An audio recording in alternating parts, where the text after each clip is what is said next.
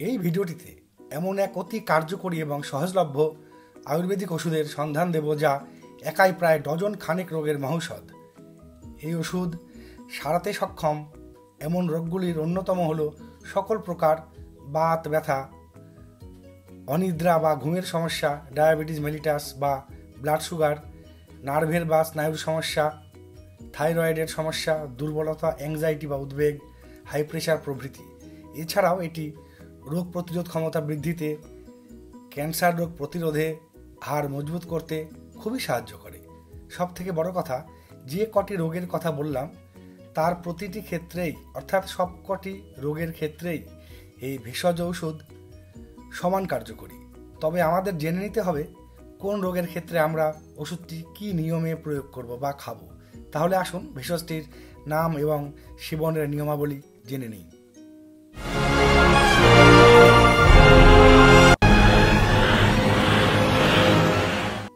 আয়ুর চ্যানেলে আপনাকে স্বাগত জানাই, বন্ধু। যে অতি কার্যকরী এবং আশ্চর্যজনক ভেষজ ওষুধের কথা বললাম, তার নাম অশ্বগন্ধা। একে অনেকেই চেনেন। এর আগে এই বেঙ্গল আয়ুর চ্যানেলে বেশ কয়েকটি ভিডিওতে অশ্বগন্ধার নাম উঠে এসেছে বিভিন্ন রোগ ব্যাধির চিকিৎসার প্রসঙ্গে বারবার। অশ্বগন্ধার ইংরেজি নাম উইথানিয়া সমনিফেরা এছাড়া উইন্টার চেরি, ইন্ডিয়ান জিংসেং নামেও পরিচিত। তবে অশ্বগন্ধা নামেই সমগ্র বিশ্বে অধিক পরিচিত। যাই হোক, আসুন জেনে নেব কোন রোগের ক্ষেত্রে কীভাবে অশ্বগন্ধা খেতে হয় বা কতটা পরিমাণে কিসের সঙ্গে খেতে হয়, কতদিন খেতে হয় প্রভৃতি। প্রথমেই বলব, বাত ব্যথার কথা। অশ্বগন্ধা ব্যথা, জয়েন্টের ফোলা, বিভিন্ন বাত, নির্মূল করার এক অব্যর্থ অস্ত্র, হাড়কে মজবুত করতেও এর জুড়ি মেলা ভার। ক্যালসিয়ামের অভাবে যে জয়েন্ট পেন বিশেষ করে মহিলাদের, হাঁটু, কোমরে যে সমস্ত ব্যথা যন্ত্রণা দেখা দেয়, সেগুলির ক্ষেত্রেও অশ্বগন্ধা খুবই কার্যকরী। এক্ষেত্রে কীভাবে খেতে হবে জেনে নিন। পাঁচ গ্রাম বা এক চা চামচ অশ্বগন্ধা পাউডার, আধ গ্লাস ঈষদুষ্ণ দুধের সঙ্গে খেতে হবে। যারা দুধ সহ্য করতে পারেন না, তারা ঈষদুষ্ণ জলের সঙ্গেও খেতে পারেন। দুধের সঙ্গে খেলে পাউডার দুধে মিশিয়ে নেবেন আর জলের সঙ্গে খেলে পাউডার মুখে নিয়ে জল পান করবেন, অর্থাৎ জলের সঙ্গে গিলে নেবেন। দিনে দুবার এভাবে খেতে হবে। সকালে জল খাবার এবং রাতের আহারের পর। মাসখানেক এইভাবে খাবেন, তবে কয়েকদিন খেলেই উপকার অনুভব করতে পারবেন। ডায়াবেটিস। ডায়াবেটিস মেলিটাস বা ব্লাড সুগার রোগীদের জন্য অশ্বগন্ধা শুধু কার্যকরী ভেষজ তাই নয়, বলা যায় প্রয়োজনীয়। অশ্বগন্ধা ব্লাড সুগার লেভেল নিয়ন্ত্রণ করে এবং ইনসুলিন নিঃসরণ বৃদ্ধিতেও সাহায্য করে। এক চা চামচ অশ্বগন্ধা পাউডার, আধ গ্লাস ঈষদুষ্ণ জলের সঙ্গে খেতে হবে। দিনে দুবার, খাবার পর। এতে আপনার সুগার লেভেল নিয়ন্ত্রিত থাকবে। ডায়াবেটিস রোগীর শরীরের বিভিন্ন জটিলতা কাছে আসতে পারবে না। একটানা তিন মাস এই ওষুধটি খেতে পারেন। তারপর পাঁচ থেকে ছ সপ্তাহ বাদ দিয়ে আবার খাওয়া শুরু করতে পারেন। আর হ্যাঁ হাই প্রেশার হাই প্রেশার অর্থাৎ উচ্চ রক্তচাপের রোগীর সর্বোত্তম বন্ধু হল অশ্বগন্ধা। রক্তচাপ নিয়ন্ত্রণে রাখতে এর জুড়ি মেলা ভার। ব্লাড সুগারের রোগীদের যে নিয়মে খেতে হবে হাই প্রেশারের রোগীরাও একই নিয়মে অশ্বগন্ধা খাবেন। থাইরয়েডের সমস্যা। প্রথমে বলে রাখি, অশ্বগন্ধা হাইপোথাইরয়েডিজম এর রোগীর জন্য উপকারী। হাইপার থাইরয়েডিজম এর জন্য নয়।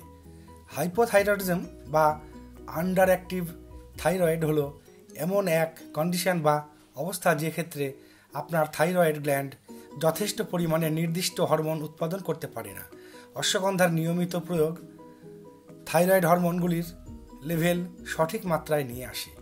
এক্ষেত্রে এক চামচ পাউডার জলসহ খেতে হবে। সকালে জলখাবারের পর এবং রাতে শোবার আগে, দিনে দুবার। তবে যারা থাইরয়েড হরমোন, পিলস খান তারা পাশাপাশি অশ্বগন্ধা খাবেন না। আর আগেই বলেছি হাইপার থাইরোজমের রোগীরাও অশ্বগন্ধা খাবেন না। অশ্বগন্ধা হাইপোথাইড্রোজেনের জন্য। অনিদ্রা বা ঘুমের সমস্যা থেকে সহজেই মুক্তি দিতে সক্ষম অশ্বগন্ধা। অনিদ্রা থেকে মুক্তি পেতে কীভাবে অশ্বগন্ধা খেতে হবে, সে সম্বন্ধে এই বেঙ্গল আউট চ্যানেলেই একটি ভিডিও রয়েছে। তাই এই ভিডিওতে নতুন করে সে আলোচনা করে ভিডিও বড় করার কোনো মানে হয় না। এই ভিডিওর ডিসক্রিপশানে সেই ভিডিওটির লিংক দেওয়া রয়েছে, দেখে নিতে পারবেন। আর নার্ভের বিভিন্ন সমস্যা যেমন অ্যাংজাইটি দুর্বলতা, শক্ত হয়ে দাঁড়াতে সমস্যা, হাত পা কাঁপা প্রভৃতি রোগ সম্বন্ধে অল্প দিন আগেই এই চ্যানেলে দুটি ভিডিও প্রকাশিত হয়েছে। ডিসক্রিপশানে এবং ভিডিওর শেষে অর্থাৎ এন্ড স্ক্রিনে সে দুটি ভিডিওর লিঙ্ক দেওয়া রইল। দেখে নিতে পারবেন সহজেই। যারা ভিডিওগুলি সহজে খুঁজে পাবেন না, তারা কমেন্ট বক্সে জানালে লিঙ্ক দিয়ে দেব কমেন্ট বক্সে এবার বলব, অশ্বগন্ধা কীভাবে অতি সহজেই সংগ্রহ করবেন এবং কারা অশ্বগন্ধা খাবেন না। তবে তার আগে একটি অনুরোধ, যারা এখনও এই বেঙ্গল এয়ার চ্যানেলটি সাবস্ক্রাইব করেননি, তারা অবশ্যই এখনই সাবস্ক্রাইব করে রাখুন এবং পাশের বেল আইকনটি টিপে দিন।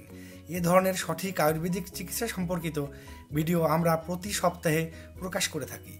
সাবস্ক্রাইব করা থাকলে ভিডিও নোটিফিকেশান সঙ্গে সঙ্গে পেয়ে যাবেন। সাবস্ক্রাইব করতে কোনো অর্থ ব্যয় হয় না, তা প্রায় সকলেই জানেন। কীভাবে অশ্বগন্ধা সংগ্রহ করবেন জেনে নেব।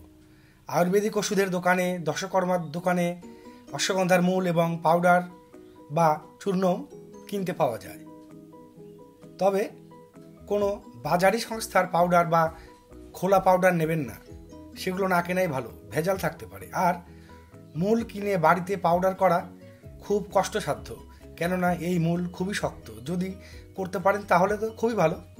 নয়তো কোনো বড় ঔষধ নির্মাতা সংস্থার অশ্বগন্ধা চূর্ণ কেনাই সঠিক সিদ্ধান্ত। বড় আয়ুর্বেদিক ওষুধের দোকানে পেতে পারেন আর তা সংগ্রহ করতে না পারলে এই ভিডিওর ডেসক্রিপশানে অনলাইনে কেনার লিঙ্ক দেওয়া রয়েছে। সহজেই কিনতে পারবেন বৃহৎ এবং বিশ্বস্ত সংস্থার বিশুদ্ধ এবং অতি কার্যকরী অশ্বগন্ধা পাউডার। এবার জেনে নেব কারা অশ্বগন্ধা খাবেন না। আগেই বলেছি হাইপার থাইরয়েডিজমের রোগীরা অশ্বগন্ধা খাবেন না। এছাড়া গর্ভবতী এবং স্তন্যদানকারী মায়েরাও অশ্বগন্ধা খাবেন না। শিশুদেরকেও খাওয়াবেন না। পাঁচ বছরের নিচে কোনো শিশুকেই খাওয়ানো চলবে না এটি। আজ এ পর্যন্তই। ভিডিওটি দেখার জন্য ধন্যবাদ রইল।